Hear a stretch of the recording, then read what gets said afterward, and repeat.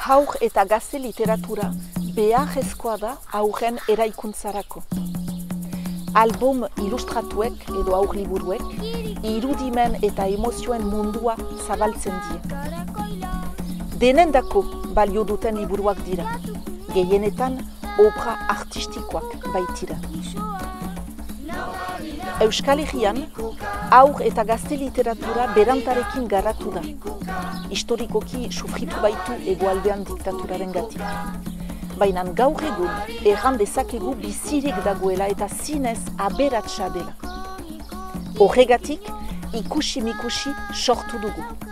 Euskal aur eta gazte literaturari dedikatzen zaion lehen azoka.